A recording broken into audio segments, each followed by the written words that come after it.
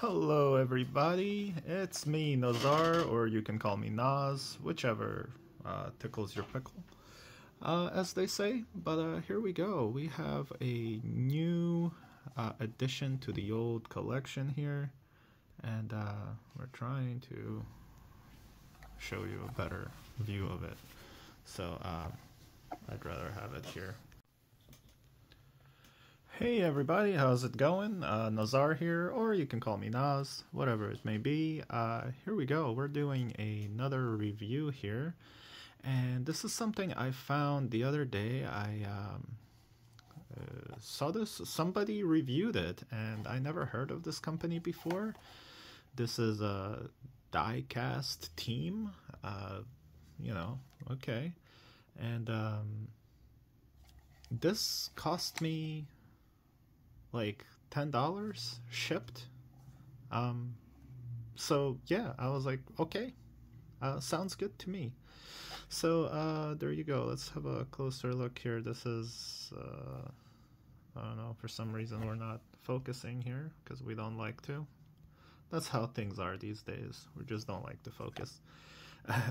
but uh, yeah, diecast team DCT. Um, anyway, uh, let's let's just open it and see what this thing's all about because uh, I don't know much about it other than I thought it was cool that these are not expensive. Uh, they come in all the colors of the rainbow, uh, but only two of them uh, have the Maserati um, logo right there on the side like that. So uh, I forget what the other one was wait it's taped on this side but not on this side? That's that's strange but all right. Uh okay. Wow that is yeah so when you're opening that keep in mind that's that's what's gonna happen. It's ridiculous. This was eight bucks um yeah. So i said 10 bucks because like with shipping it ended up being oh right around ten dollars. So, um, but anyway, I mean the box is pretty sweet. You got the little like blueprint style, you know, outline of the thing. Uh, so here we go. Wow, uh, that's my first impression as well. Uh, that's plastic base, but it's okay. Let's uh, zoom in here a little bit. So here we go we have plastic base. It, uh, I don't know, I, I guess I could unscrew this for you guys if you want. But first let's take a look at this. The detail is amazing. You have translucent plastic headlights, which is great. I don't really, I don't see like the plug. It's not getting in the way. Wow, the uh, the grill is actually very clean, very nicely uh, detailed. You have your Maserati badge right on the front here, which is legible. The green color is fantastic. Dude. Wow. For 10 bucks, man? Shipped? Anyway, so yeah, uh, if you want to see all the other colors, uh, I'm just gonna shout them out. I, I don't really care, man. He probably doesn't even know that I'm shouting them out, but uh, um, 64 diecast. Uh, so yeah, check them out. There's there's your little logo right there. Um, he bought a whole bunch of these uh, a long time ago, and uh, that's the, the, only way I heard about these is because of his video. Uh, other than that, I would never have even heard about this. Uh, Gran Turismo Racing something. Look how legible, like how clean is that logo. Can I get even closer? Let me see. Holy crap. Alright. I can't really make out what it says under the Gran Turismo. But uh that's cool. But yeah, um check check out this channel if you want to see all the other colors. Um I got this one because I really like this green and I love the uh, the Trident uh, Maserati Trident on the side there. Uh, yeah, so red translucent taillights as well. I love how the exhaust pipes are coming out through these little holes here. That's a fantastic little detail. Look at that.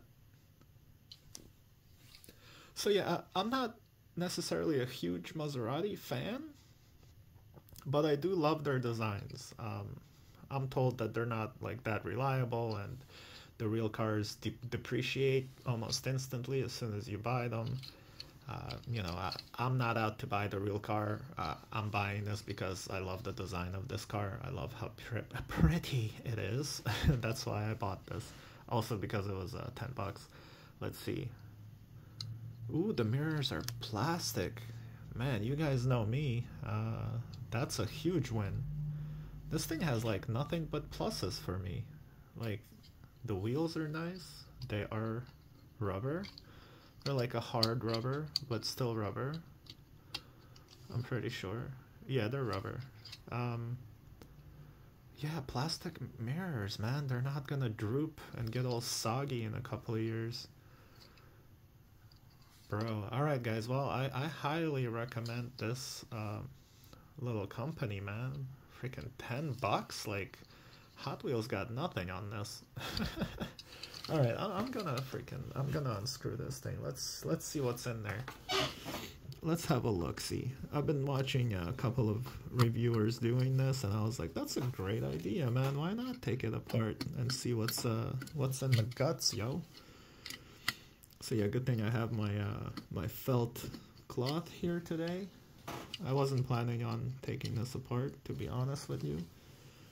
But having those screws there, it just seems so simple. Let's hope that I'll be able to put it back together. okay, hold on a second. My apologies. Somebody was at the door. The freaking camera kept telling me, like, someone's at the front door. I'm like, okay, okay. God. Oh, yeah, because the tail lights, uh, I mean, the exhaust pipes go through those little holes. You have to be careful here. There we go. Look at that. They actually do go all the way through. Okay, then we have, okay, that's the little like nipple there to uh, hold the exhaust pipe in. So the exhaust pipe is a separate mold. How cool is that? Man, this thing just keeps impressing, man. Alright, let's put let's put the screws and stuff over there. Let's zoom out a little bit. How about that? okay, so there's your uh not sure why my camera is acting weird with the weird camera switching all right let's use my little pokey thing here there we go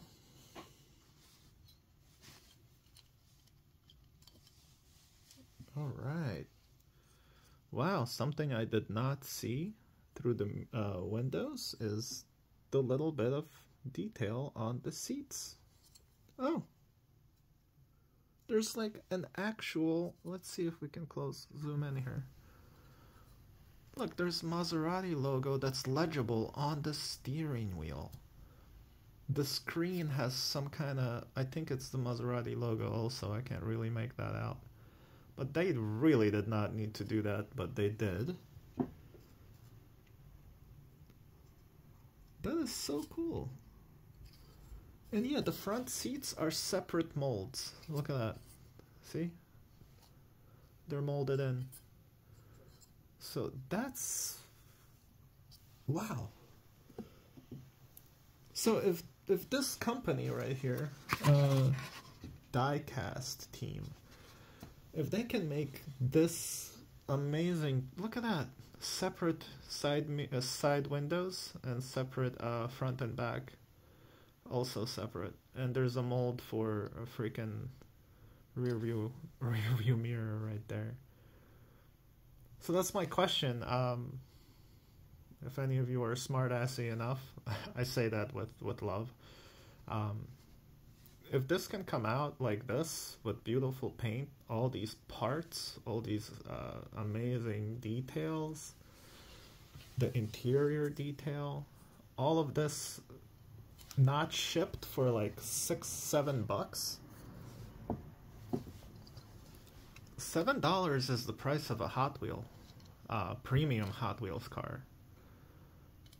So, uh, rubber wheels, rims are also separately, um, you know. There's no disc brakes or calipers, but I really don't care about that, honestly, at this point. so, like, what's going on with that Hot Wheels? Um, I mean, multi-million dollar company should be able to step up a little bit, you know? I mean, some of the premiums don't even have side mirrors, which is, these are separately molded and then placed in here at an assembly. So, uh, yeah. Uh, Mattel, what's going on, man? Uh, you got wheel wells? What's going on, Mattel? Why can't you, uh, why can't you do this? This is, uh, you know, I'm sorry, love me or hate me, but this is, I mean, drilled holes right in there in the casting for exhaust pipes. That, that they did not, they did not need to do that, but they did. Okay, let's see. Just want to make sure I get that in there without breaking anything. Okay. What an amazing attention to detail, and yeah. So yeah, uh, that's that's my question, guys. What's what's going on? assembly super easy. I mean, as you can see, just a couple of screws and we're uh, we're good to go. Yeah, all done. Put back together with incredible detail that you can barely even see. Can you see the... Yeah, there you go. You can see the steering wheel, kinda. But yeah, so there you go. That's that's my point uh, right here, everyone. Uh, why can't we have Hot Wheels do better? Um, I mean, I have been noticing a lot of people uh, going away from uh, collecting Hot Wheels in particular. yeah, I collect uh, out of box, so I'm gonna put this. So, yeah, I have been noticing quite a bit. I've been doing this for the past three years, which I've been cutting down. Uh, we you know, completely stopped collecting mainlines from Hot Wheels, but Hot Wheels is what got me started uh, in collecting diecast. Uh, that and you know my dad with stuff when, in Ukraine when I was younger, but that was by companies unknown to anyone uh, that probably don't exist anymore. But anyway, I had Hot Wheels as a child as well. Uh, but um, yeah, number 22 green. But this company, diecast team, whatever, uh, you know, who knows about licensing? I'm not a lawyer. I don't know uh, what's going on here. But uh, yeah, I that's why I stopped collecting Hot Wheels, even premiums. Uh, other than uh, the Fast and the Furious, I don't really collect premium Hot Wheels anymore. I have maybe like a couple of BMWs, a couple of uh, you know, maybe a handful of uh, main lines that I really like that no one else makes that I wheel swapped. Um, you know, like I have to customize things to make them sorry guys, customize Hot Wheels to make them look more premium and better because the company itself doesn't want to like spend a little bit more money to make it better. I mean, they sell out every year. Everything they make gets sold. Most of what they make gets sold. You know what I mean? Like for Hot Wheels to make this, they would have to sell these for like 25 bucks. But anyway, so uh, yeah, I- am sure there's like all this toxic material on my hands now. That's probably why this was made cheaply. But uh, anyway, let me know what your thoughts are, guys. Uh, have you switched to collecting other brands and, uh, you know, collector grade brands over Hot Wheels because of the, you know, it's quality over quantity, to be honest with you. Why should I fill my walls with uh, cheaply made cars, you know, from Hot Wheels that are cheaply made without any detail, uh, which are meant to be toys. Uh, as an adult, I'd rather spend the same amount as a premium Hot Wheel for something like this that looks amazing and impressive, beautiful, and there's detail in it. And you know, it's I don't know, man. Okay, sorry guys. Uh, I'm gonna stop talking. Um, thank you so much for watching. Thank you for uh, you know listening to my little mini rant here. Just ten bucks, bro. Ten freaking bucks. All right, all right. I'm out of here, man. Uh, see you guys in the next one.